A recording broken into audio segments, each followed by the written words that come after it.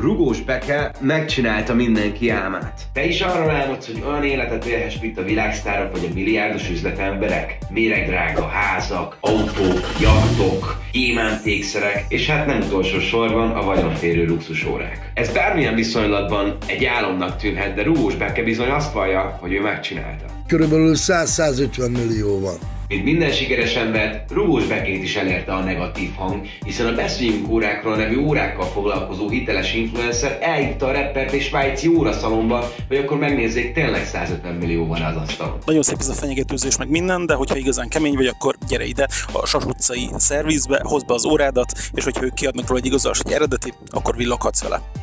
Addig megcsitúvam. Szerinted Beke tényleg megcsinálta? Engem nem kell megítélni, hanem azt kell csinálni, amit, amit én. És holnap bemegy a szervizbe? Hívjad a rendőrséget, hívjad a, a, a navot, hogy ki a a szádba. Vagy a kamu rendőrséget.